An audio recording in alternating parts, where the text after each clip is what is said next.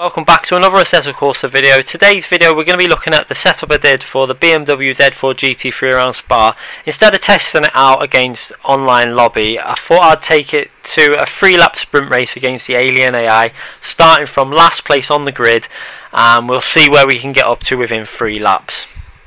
So we're going to run obviously tyre wear on, we're going to put the tyre blankets on just so we can get straight up to speed and we're going to just see what we can do running obviously starting on that last pos last position on the grid and seeing how far up the grid we can get. So we're going to obviously make sure that we load the correct setup up. And I will link you the setup that I used if you've not seen the video yet into the description so you can check it out. So we're loading on a par 2, 2 minutes 17 setup which is possible for a 2 minute 16 now I think. I think we got into 2 minute 16s the other day. But I'm going to test it out against the alien AI anyway and see what we can do against them Okay, so that's the setup loaded up now. So we're going to go back straight into the race and see how far up, up, the order we can get within three laps. So it's going to be, we're not going to be looking at lap times here. We're going to be just going out and seeing how many positions we can make up because we're going to be fighting our way through 15 other cars along the grid. So we're going to see if we can get a good start. We get an okay start, but we forgot to put traction control off, I think, straight away. So we, so we're changing it there. We're going to put traction control off now and we're going to brake as late as we can without trying to hit anyone so we brake really late there just getting on the brakes just in time. As you can see there's one of the alien AI actually hits one of the other um, cars there in the first corner mayhem.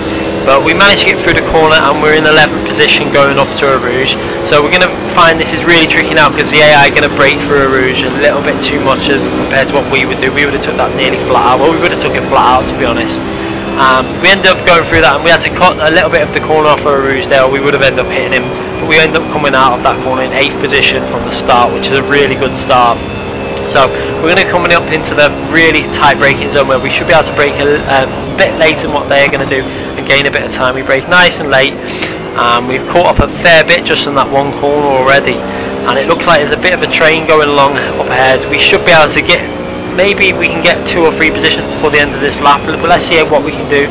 So the, he locks up there going into the corner. I don't understand how he could lock up running obviously with factory settings.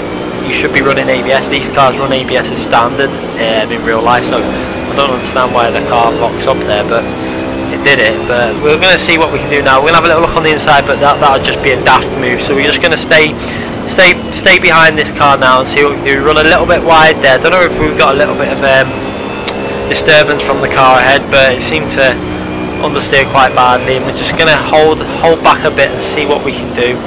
So we're, we're still in 8th position. We want we, we really wanted to get a little bit further ahead at this point but it's not all lost at this point for the for the win if we can try and go for that win.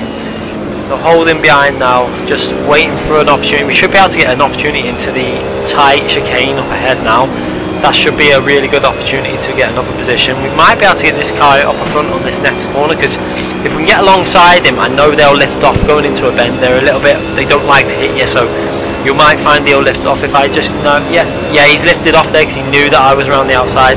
So that's another position. We nearly lost it on the curb as well, coming through the fast corner. So we're going into braking zone. We got another position there, braking as hard as we can, just about. He's on the inside now though, so we need to be really careful on the accelerator now but we, have come out the bend and we're in 6th position from one lap. So we've gained a nice amount of places in one lap there.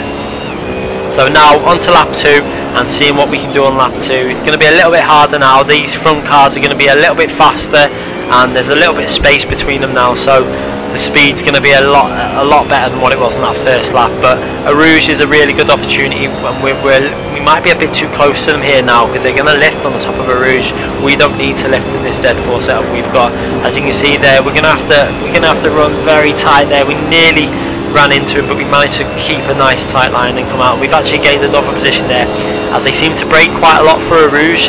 For some reason they seem to be lifting the AI on Eau Rouge. I think they could have took that flat out. Maybe it's something with the programming of the AI, but maybe they should take that a little bit faster. We outbrake ourselves a bit there.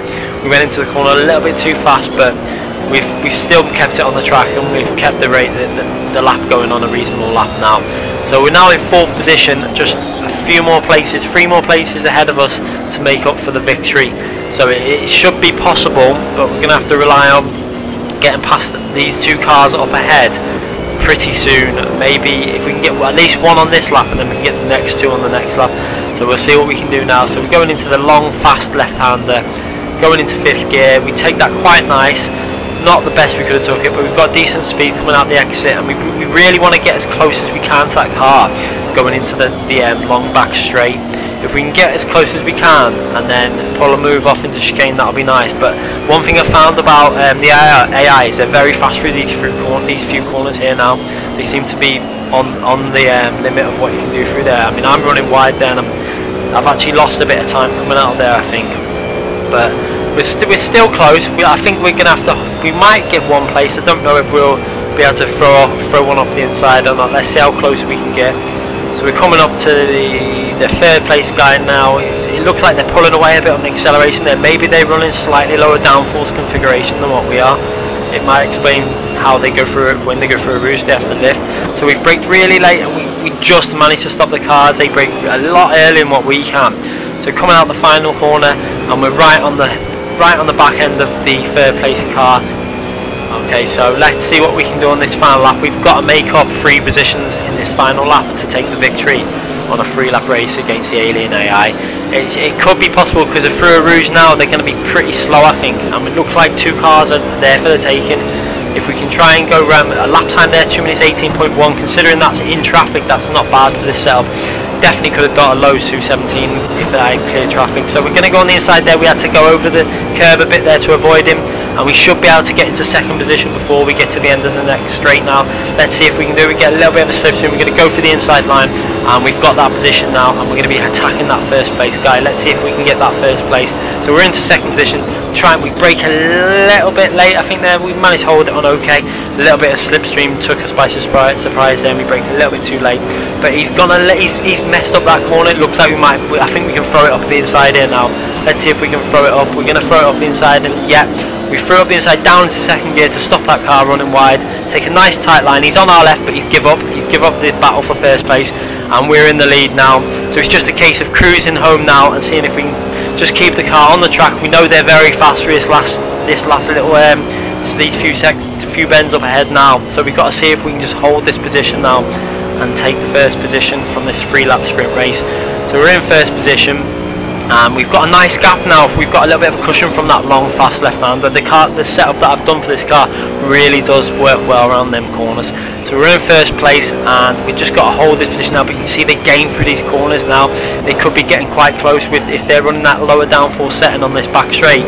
As you can see, they gained a little bit there now. That second place guy, he's in the mirror there and we're getting onto this back straight we, we do that quite nicely and get quite a good bit of drive coming out of that corner though. And we've just increased that gap just a little bit.